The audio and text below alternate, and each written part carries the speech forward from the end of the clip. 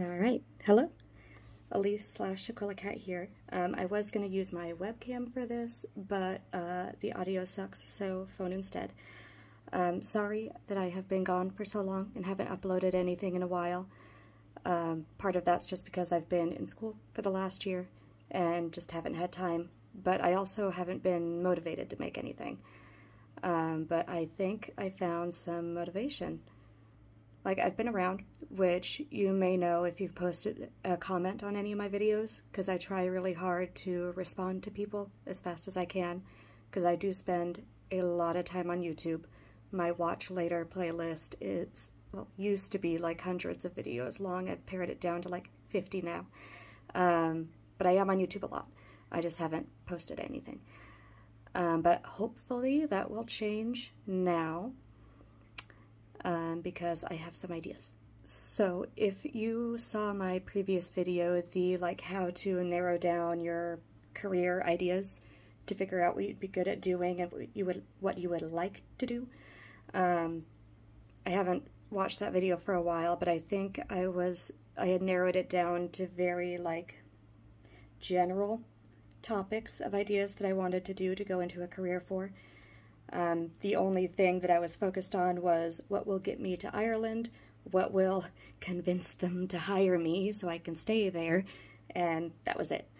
Um, and from what I've tracked over the last like year that I've been looking at it on their critical skills list, biological and chemical scientists have been pretty um, consistent on those lists this whole time. So I think I'm on the right track.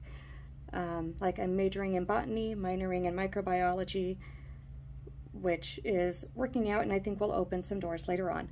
But what I'm really interested in is toxicology um, and also parasitology and veterinary and there's a lot of things I'm interested in. But I think toxicology will be my best bet to like find a niche and establish myself. But anyway, um, like there's a lot of things I could end up doing with that. I can be happy working in some lab, either just focusing on ongoing research or hell, even just working in a lab doing the same tests every day for some like law enforcement or government agency or whatever, just doing a bunch of drug and blood tests or something for like a health department maybe. I don't know. I could be perfectly happy doing that. But what I am already good at, um, like I have a few years of school left before I can even think of pursuing my master's degree and going to Ireland. But a skill that I already have is compiling scientific information and like current research and understanding at least a lot of the lingo and portraying it, relaying it in a way that makes sense to most people. Um, it's part of why I want to go into public health along with the toxicology because I, even though I could be happy working in a lab, I can also be happy even though it would be day hours and I would really prefer to work graveyard shift. Um, I could be happy working for like a public health organization um, because I can I don't mind working with the public. I like to get information out there and like share interesting things, which I think is what I want to start doing is sharing interesting things about either research that's going on or things that I learn throughout classes or just things that I'm interested in that I randomly find out or have some knowledge about from, you know, being a vet tech in the past or whatever. Um, so so what I'm especially interested in talking about is how even though because I've been fascinated by a lot of this stuff and I have medical background experience and like seek out that knowledge, there's a lot of things that I'm knowledgeable knowledgeable about that seem like common sense to me, but are not really common in public knowledge, even though a lot of these things really should be. Um, things relating to toxicology, even like toxicology and public health, eh, intertwined. Um, but like things that are like harmful to pets, us, kids, like things that some may already know about, but not others. Like there are some things that are really common knowledge, like be careful around bleach, or um, like knowing that asbestos is bad and trying to avoid that, or or don't eat food that's been rotten, or knowing that poison ivy can irritate the skin, or even just simply being aware that not every mushroom or plant that you can forage in the wild is edible. Some of it can harm you. But there but there's other information that should be more common in public knowledge. Um, like knowing that certain like aerosol fragrances can really harm pets or knowing that common weeds in your backyard like hemlock are common, at least here in Oregon. Hemlock is really common, um, but even just touching it can be really irritating to some people. Um, so it's good to be knowledgeable about those kinds of things. Or knowing that some common plants, lilies, like gift plants like lilies, or common household plants like Monstera or Pothos, can be very toxic to pets, and some also to kids if they get into them. Um, and then also like how there's a reason why pregnant people shouldn't scoop the litter box. That reason being Toxoplasma gondii, or Gandhi, Gondii, I'm not sure how to pronounce it.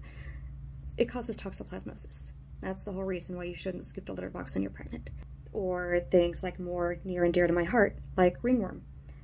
I volunteer for a cat rescue. One of the cats that I have, I got because somebody brought her to the cat rescue because she had ringworm. Like they bought her off a Craigslist, found out she had a ringworm, and immediately relinquished her to a cat rescue. Like, yes, ringworm is annoying and it's very persistent, but it's relatively harmless as long as it's being treated. And even though it takes a lot of work, you can pretty easily get rid of it. So don't get rid of your cats just because they have ringworm. So obviously I'm more focused on like the veterinary side of things because that's what my background is in, what my first degree is in like an associate's degree for veterinary technology, and a lot of the volunteering that I've done, and like new anti and new antibiotics that have been found to help with antibiotic resistance, like albicidin. I didn't even know about albicidin until I had to do research for one of my class discussions, which relating to toxicology, it's a toxin produced by a plant pathogen. So like it's toxic to plants, but not to us. And it's exceedingly effective at killing um, antibiotic resistant bacteria. So it's super helpful. And there are other things like that coming out too that, like me, someone who is interested in this stuff and fascinated by it and actively seeks this information out, had no idea about. So I'm assuming the public doesn't know about it either. And it's interesting, it's fascinating. I would love for you all to know about it. So I'm happy to talk about things like that too. Um, or, like, I'm really fascinated by bats. They're one of my favorite animals, along with cats.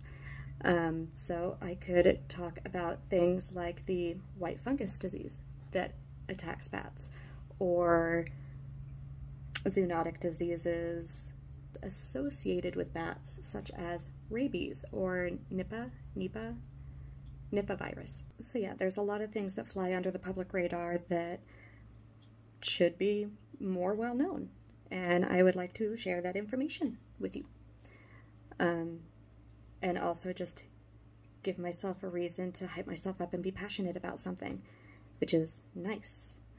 Because um, for the last like half of a year, I haven't really like felt like myself much, and it's just been really weird. I've been to therapy. I figured it out. I've I'm resilient, bounce back. I'm all good to go and fired up again. But I would love to share that stuff with you. Um, and so keep an eye out for videos about this stuff. Um, I'm not sure what I'll talk about first yet. Maybe hemlock, maybe albicidin, I don't know. Um, but if there's anything in particular relating to like toxicology or public health or veterinary stuff even that you're curious about, um, let me know in the comments and I will look into it and see what information I can find out because I enjoy researching and finding things out. Um, and I think I, I will be more motivated and passionate about creating videos about this stuff than I will be with what I had considered doing before uh, when I did the initial like how to narrow down your career field video when I was thinking of also looking into like public programs and things that may be helpful that people may not know about. I might still do that later on. But right now, this is what I'm really fascinated about, and I am eager to share. And hopefully, you all will find at least some of this stuff interesting. Um, but yeah, stay tuned. Keep an eye out.